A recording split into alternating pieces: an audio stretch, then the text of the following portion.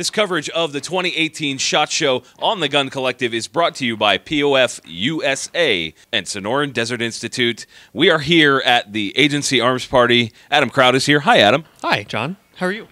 I'm good, brother. So we got to check out a bunch of different brands. Who was here? Uh, well, we had FN down on the bottom range, along with Kalashnikov USA, and of course Nighthawk and Agency. Yeah, the, we, we shot some really really interesting stuff. Agency was really showing off their comps this year. Yes. Did you get did you get a chance to try any of those? I did. I shot the Glock 19X, the Glock that everybody's been talking about. The comp on that made that gun super smooth, real nice to shoot. I was really Yeah, I. I really enjoyed that one, and the, the grip they had on that was also super aggressive.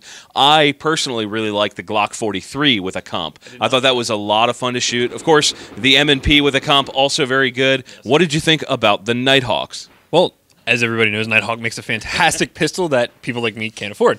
Um, but it, it was a really smooth shooting gun. We shot the 45 version. Uh, we had shot previously at the range by us the collaboration between Agency and Nighthawk and 9mm, and that was also an awesome gun. And here at the range tonight as well. Right. The new the new one that they had out here, they had in 45 and 9 millimeter, both really smooth guns. Of course, exactly what you would expect.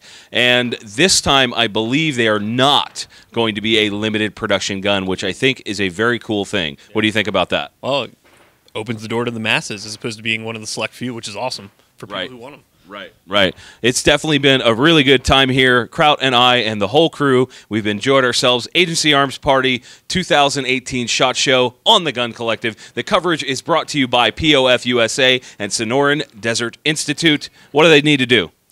Check those links down in the description to learn more. All right, guys, we'll see you next time.